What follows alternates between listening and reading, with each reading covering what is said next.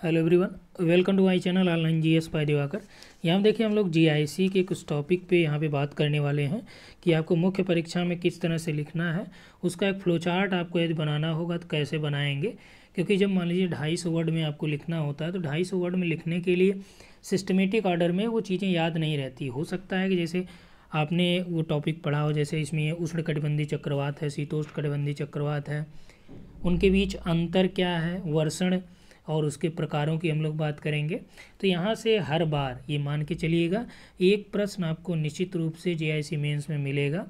चाहे वो दे दे उष्ण कटिबंधी चक्रवात की उत्पत्ति, विशेषता और वितरण को प्रदर्शित करें, या उसकी व्याख्या करें, या आलोचनात्मक परीक्षण करें, ठीक?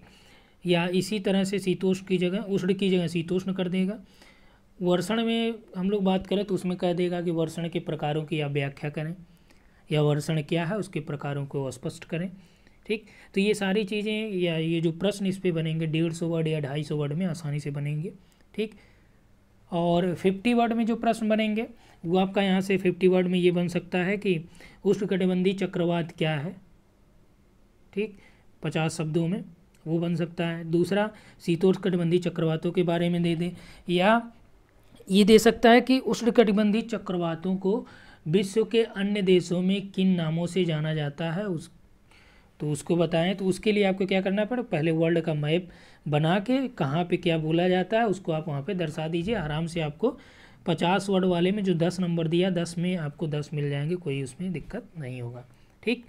अब यहाँ पे हम लोग बात करने वाले हैं उष्ण कटिबंधी चक्रवात का सबसे पहले जान लेते हैं कि आपको मुख्य परीक्षा में कैसे लिखना है। डायरेक्ट देखिए, आपको ये फॉर्मेटिंग उपलब्ध कराया गया है। कि सबसे पहले आपको क्या करना है उष्ण कटिबंधी परिभाष की परि उस कटिबंधी चक्रवात की परिभाषा लिखनी है, ठीक?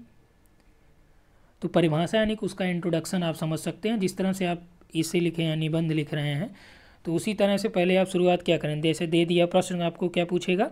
कि उष्ण कटिबंधी चक्रवात की उत्पत्ति वितरण और उसकी विशेषताओं को प्रदर्शित कीजिए या उसका विवरण दीजिए।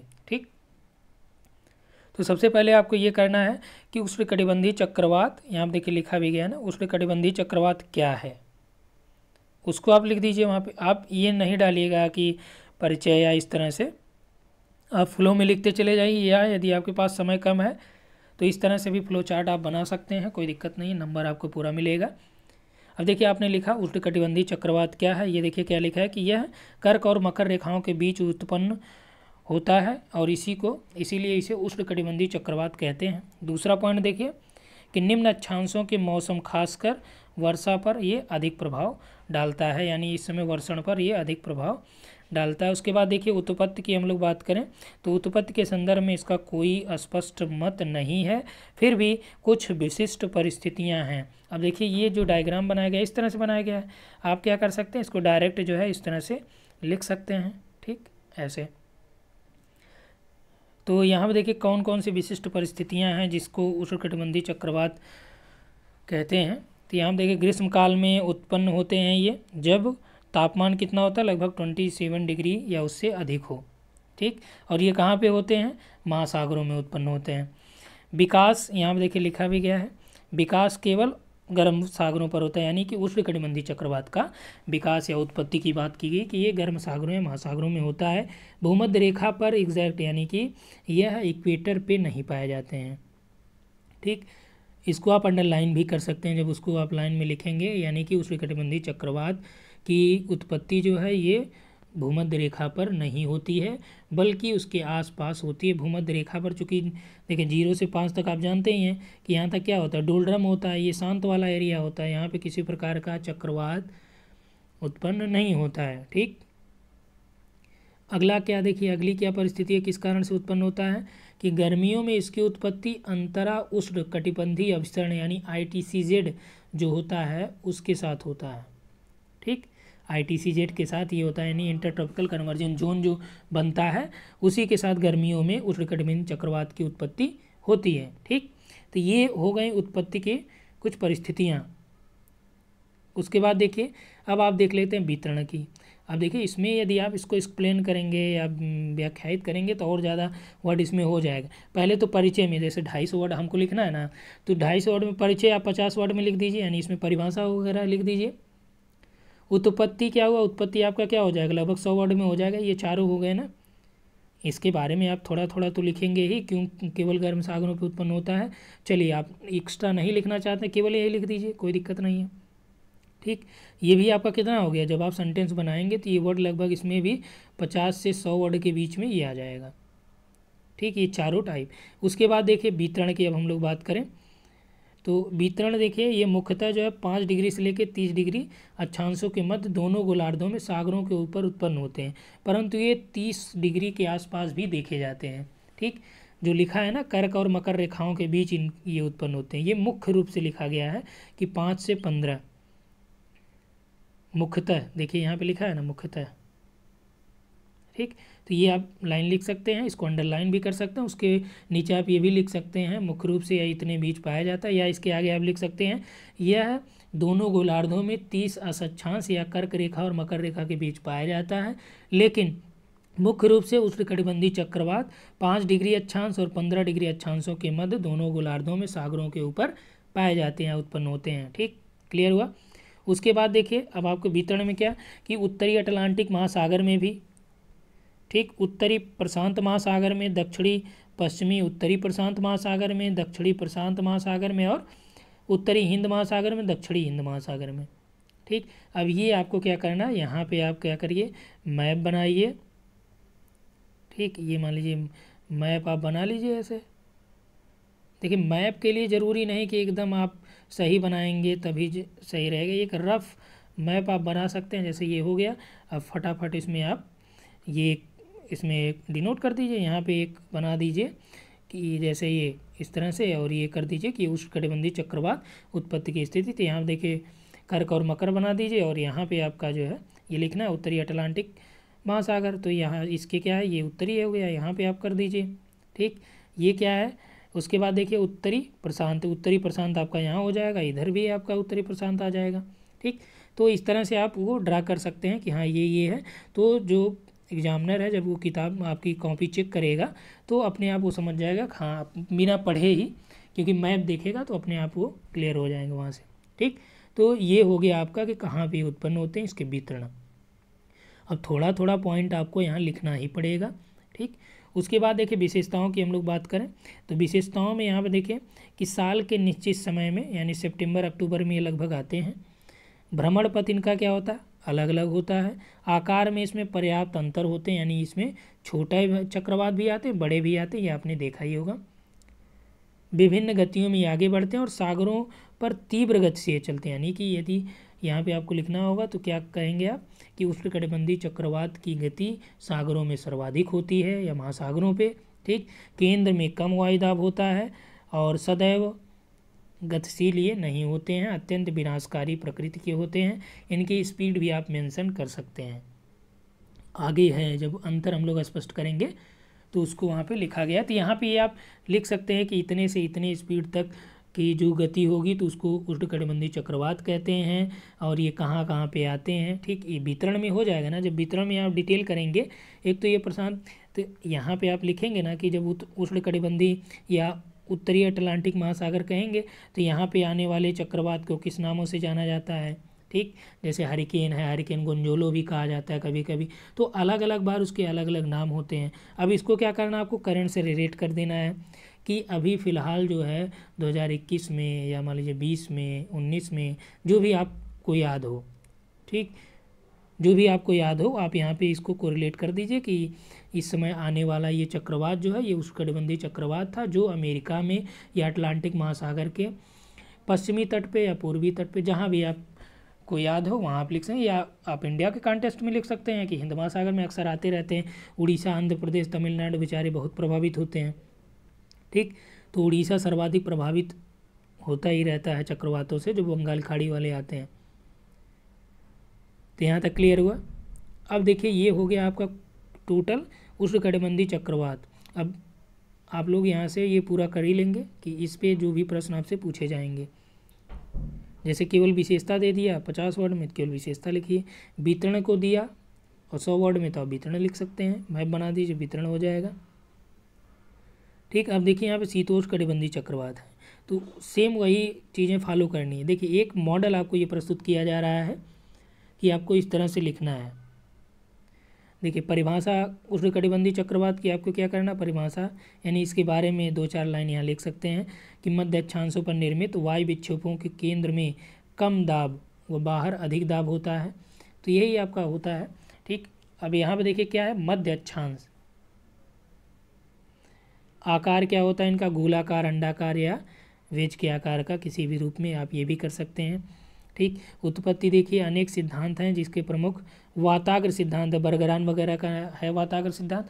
आप इसमें लिख दीजिए। फंडी सेन बरगरान ने कुछ प्रमुख सिद्धांत दिए हैं। अब आप उन सिद्धांतों पे मत जाइएगा पूरी तरह से। बस आपको क्या करना है, यहाँ पे सिद्धांतों का इंट्रोडक्शन देना यानी परिचय कराना है कि हाँ ताकि ये लगे कि हाँ आप जानते हैं कि किस वजह से इनकी उत्पत्ति मानी जाती है। जबकि उष्ण चक्रवात में ऐसा कुछ नहीं है। ठीक? यहाँ देखिए, यह छह क्रमिक अवस्थाओं में विकसित होता है।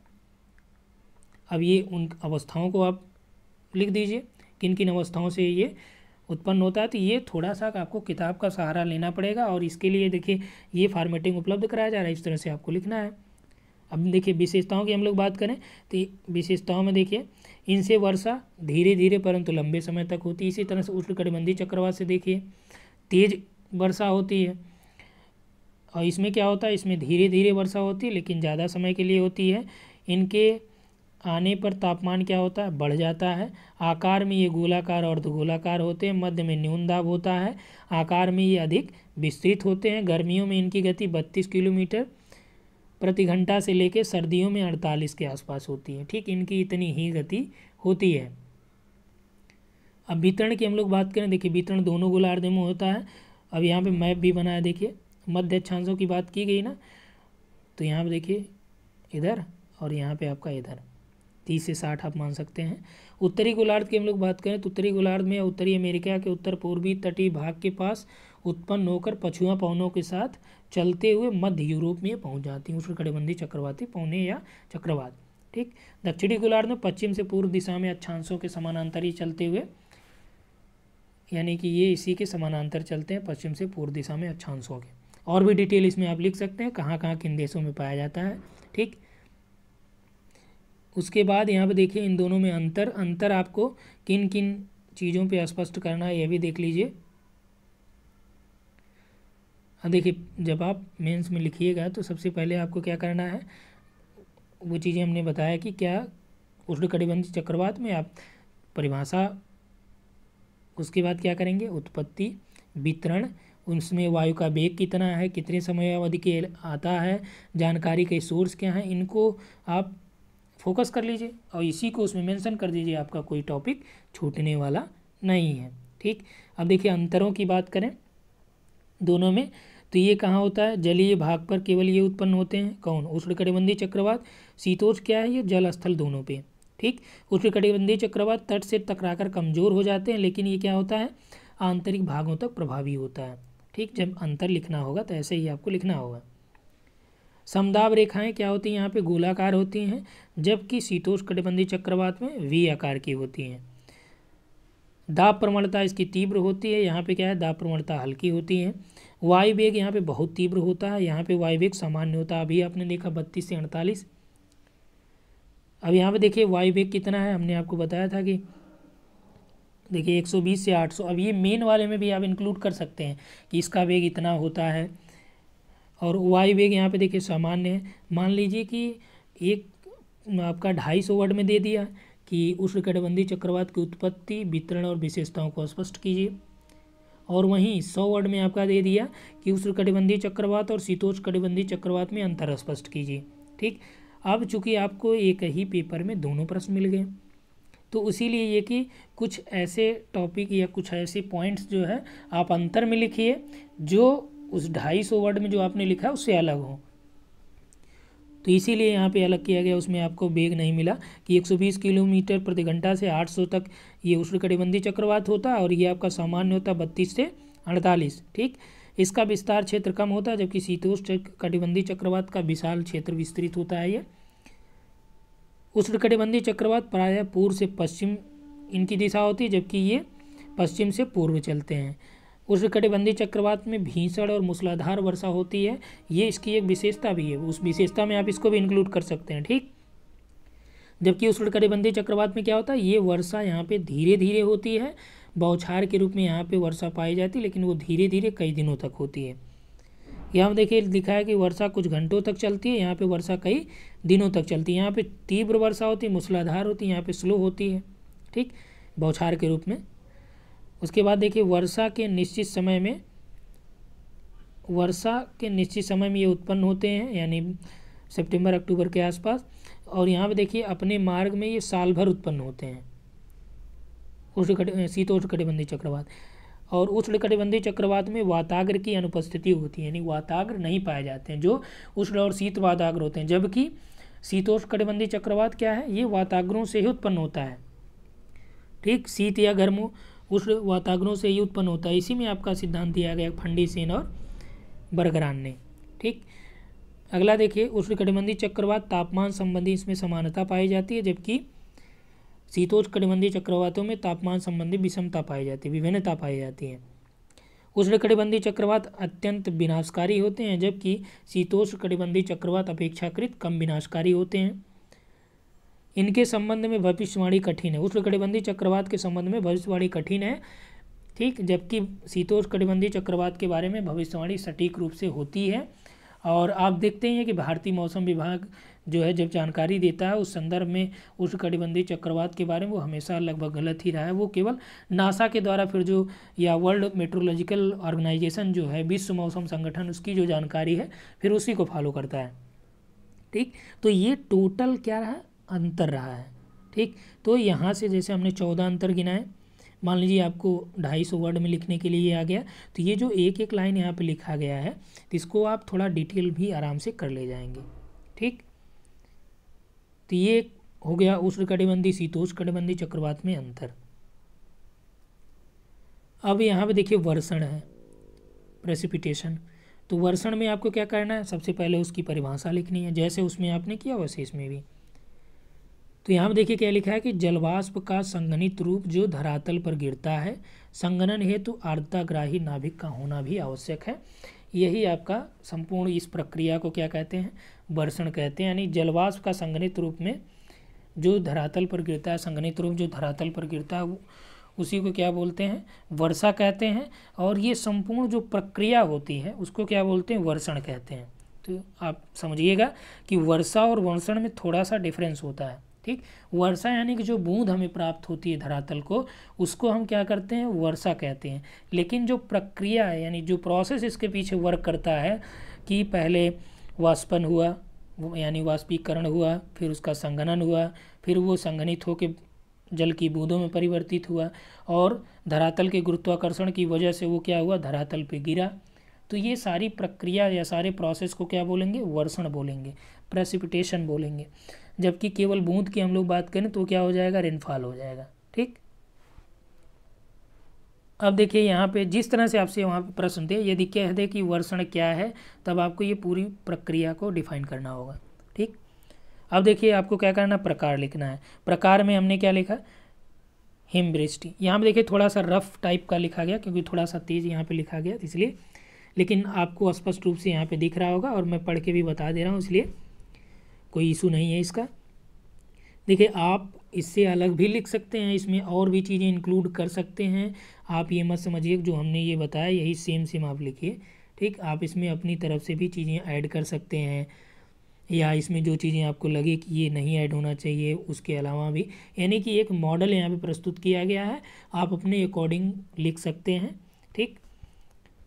हिमवृष्टि यानी स्नोफॉल कि जब वायु में उपस्थित जलवाष्प का संगनन हिमांग से कम हो जाता है, जब हिमांग से कम हो जाएगा, क्या होगा? उसको स्नोफॉल बोलते हैं। और स्लीट किसे कहते हैं? सही वृष्टि यानी वर्षा की बूंदों के जमने या हिमकणों के पिघल कर पुनः जमने से होने वाली वर्षा। यानी कि वर्षा की बूंद या जम जाए, या जो हिमकण है, वो एक बार पिघल जाए, पिघलने के बाद क्या हो? फिर से जम जाए। उसके बाद जो वर्षा होती है, उनके जमने से, वो आपका स्लीट होता है। और हीलिंग क्या होती है? ओलावृष्ट तो जब बर्फ़ की कड़ी या बड़ी गोलियों की बौछार हो तो इसके अलावा भी आप जोग्राफिकल वर्ड भी यूज़ कर सकते हैं, ठीक? तो कोशिश यही करिएगा, अपने शब्दों में भी अगर आप लिखिए तो उसमें कुछ भौगोलिक शब्दावलियों का प्रयोग निश्चित रूप से करिएगा। इससे थोड़ा आंसर आपका क्या होगा? इफ़ेक्टिव होगा, क्योंकि लगेगा कि हाँ आप भूगोल विषय के ही छात्र हैं, क्योंकि जनरल स्टडीज़ में भी आप जानते हैं वर्षण पढ़ाया जाता है। तो ये ना लगे कि आप जो है ऐसे ही लिखे हैं। तो यहाँ देखिए, जलवृष्टि या रेनफॉल। यानी वर्षण का प्रकार ही एक क्या है? रेनफॉल है, यानी जलवृष्टि है, वर्षा है, ठीक? और इसी रेनफॉल के तीन टाइप हैं, एक आपका संवहनी प्रकार का, दूसरा पर्वतीय और तीसरा चक्रवाती। यदि आपसे पूछे कि वर्षा के प्रकारों को व्याख्यात करिए तो वर्षा के ये आपके तीन प्रकार हो गए। जब वर्षण की बात करेगा, तब आपका ये होगा, फिर ये भी आपका इसी में आ जाएगा, वर्षण में ही। ठीक? जलवृष्ट में देखिए संवहनी वर्षा तो संवहनी वर्षा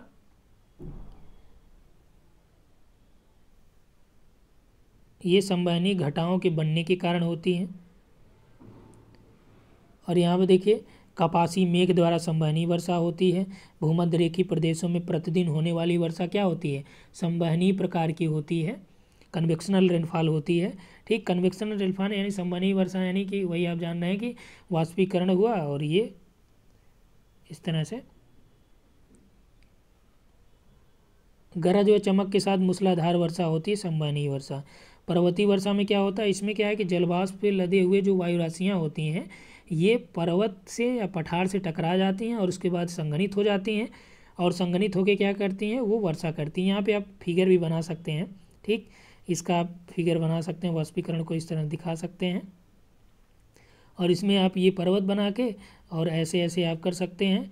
यहाँ पे दिखा के कि, और उसके बाद यहाँ पे वर्षा की बूंदें आप बना दीजिए, ठीक? क्योंकि इधर से आया और ये इसीलिए ये वाला वृष्टि छाया प्रदेश हो जाता है, क्योंकि आप जानते हैं कि जो आप, बहुत दूर जाने के बजाय अपने यहाँ पश्चिमी घाट के पास देखिए, पुणे वगैरह में, ठीक? कर्नाटक में भी वृक्ष छाया प्रदेश पाया जाता है। मुंबई, पुणे में देखिए, ठीक? तो चूँकि पश्चिमी घाट से अरब सागर जो उठने वाले मानसून है, इसी से टकरा जाता है दक्षिण पश्चिम मानसून। और इसी के आसपास अधिक वर्षा कर देता है और इसका, इधर जो आता है ये तो इधर आ ही नहीं पाता है या उसमें जो नमी की मात्रा नहीं रहती और बादल बनते नहीं हैं। ठीक? तो पर्वतीय वर्षा की बात करें तो जलवाष्प से लदी हुई वायु या पठार या पर्वत से टकराकर जब वर्षा करे तो वो पर्वतीय वर्षा होती है। ऊंचाई के साथ साथ वर्षा की मात्रा में यहाँ पे बढ़ोतरी देखी जाती है। पर्वत से दूर जाने पर वर्षा की मात्रा में कमी होती है, ठीक? क्योंकि पर्वत के नज़दीक जो वर्षा होगी, उसी वहाँ पे ज़्यादा होगा। लेकिन यहाँ पे यदि हम मापेंगे तो यहाँ पे इसकी अपेक्षा कम होगी, ठीक? तो अधिकांश जो वर्षा होती है विश्व में, वो सर्वाधिक प्रकार की जो वर्षा होती है, अधिकांशतः वो पर्वतीय वर्षा होती है, ठीक? क्लियर हुआ? अगला देखिए। चक्रवाती वर्षा। तो चक्रवातों के कारण जो होने वाली वर्षा होती है, वो चक्रवाती वर्षा होती है। चाहे शीतोष्ण कटिबंधी या उष्ण कटिबंधी चक्रवात से जो होने वाली वर्षा होती है, वो आपका चक्रवाती वर्षा होती है। यहाँ पर देखिए लिखा भी गया, उष्ण एवं शीतोष्ण चक्रवातों से होने वाली वर्षा, उष्ण से तीव्र व शीतोष्ण से फुहारों के रूप में होती है। तो वही अभी आपने पढ़ाई है जस्ट ऊपर, कि उष्ण कटिबंधी चक्रवात से तीव्र और मूसलाधार वर्षा होती है, जबकि शीतोष्ण कटिबंधी चक्रवात से फुहारों या बौछारों के रूप में वर्षा प्राप्त होती है, जो लंबे समय तक होती है, जबकि उष्ण कटिबंधी चक्रवात से होने वाली वर्षा शॉर्ट टर्म के लिए, लेकिन बहुत तीव्र गति और भीषण मूसलाधार वर्षा होती है। क्लियर हुआ? ठीक तो यहाँ पे भी इसका आप फिगर बना लीजिएगा, बना सकते हैं, कोई दिक्कत नहीं है। ठीक? तो ये पूरा आपका ये रहा कि आज का कि किस तरह से ये आप मेंस में लिखेंगे, उसकी फार्मेटिंग क्या है? इसी तरह से आपको सारे यूनिट पढ़ाए जाएँगे, ठीक? जो हमने आपको प्रोवाइड कराया कि जी आई मेंस में जो लोग ज्वाइन करना चाहते हैं तो आप लोग यहाँ पे ज्वाइन कर सकते हैं इस नंबर पे व्हाट्सअप करके, ठीक? Eight three one eight zero double one two three eight तो इस नंबर पे आप व्हाट्सअप करेंगे तो इस पर क्या है कि हम लोग पूरा एक तो आपको कंबाइंड पेपर मिलेगा, ठीक? जैसे ही कंबाइंड पेपर के बाद आपको क्या होगा? यूनिट वाइज उसमें सेट भी कराए जाएँगे। इस तरह से आपको प्रश्न बना दिए जाएँगे फॉर्मेटिंग आपको कर दी जाएगी, ठीक? और आपको प्रश्न दिए जाएँगे, आप उसमें प्रश्न लिख के अपना आंसर सबमिट करिए ग्रुप में और आपके आंसर को चेक भी किया जाएगा। आपको व्यक्तिगत रूप से यदि कोई कमी आप में दिखती है तो उसको बता दिया जाएगा हाँ यहाँ पे आपको सुधार की आवश्यकता है और मैक्सिमम लोग, ज़्यादातर लोग सही ही लिख रहे हैं। ठीक? आपको जहाँ से भी मिले, चाहे आप किसी किताब में देख के लिखिए, कैसे भी लिखिए, क्योंकि जब आप लिखेंगे तो प्रैक्टिस बनेगी। और अगर आप एक यूनिट से बनने वाले सभी प्रश्न अटेम्प्ट कर लेते हैं, खुद से प्रश्न बनाइए, खुद से सॉल्व करिए, जब आप ये कर लेंगे तो आपको एक कॉन्फिडेंस आ जाएगा और उससे रिलेटेड प्रश्न एग्ज़ाम में आएगा ही, क्योंकि उसी यूनिट से पूछा जाना है। तो जब वो आएगा तो आपको सोचना नहीं पड़ेगा, यदि आप प्रैक्टिस किए तो डायरेक्ट आप उसको लिख सकते हैं, ठीक? तो बस इसमें इतना ही। उम्मीद है आप लोगों को ये वीडियो पसंद आएगा और अपने मित्रों तक शेयर करना मत भूलिए, क्योंकि इधर देखिए आपका जी आई सी मेन्स आप लोगों के लिए अच्छी अपॉर्चुनिटी भी है, क्योंकि मौका भी है इधर। आपका फरवरी में आपका एग्ज़ाम है छः फरवरी को और मैक्सिमम आपने पढ़ लिया है। ज़्यादातर लोग आप देख रहे हैं पीजीटी या टीजीटी में हो चुके हैं। अभी हायर का रिज़ल्ट आ जाएगा आपका ऑलमोस्ट दस के आसपास तक तो जिनका हायर में इंटरव्यू होगा तो वो उधर लग जाएँगे, ठीक? तो यानी कि जिनका मान लीजिए हायर में नहीं होता है, केवल जिनका जीआईसी में हो पाता है तो उनके लिए और अच्छी अपॉर्चुनिटी हो जाएगी, और अच्छा मौका हो जाएगा कि वो इधर ज़्यादा प्रैक्टिस कर पाएँगे। क्योंकि जब जो हायर में इंटरव्यू देंगे, ठीक? तो इंटरव्यू लगेगा तो उधर थोड़ा सा डिस्टरबेंस होगा ही। तो आप एक फार्मेटिंग ऐसे पूरे यूनिट का सभी प्रश्न जो आप देखिए, उसको इसी तरह से फार्मेट बनाइए, ठीक? तो इस वीडियो में इतना ही। Thanks for watching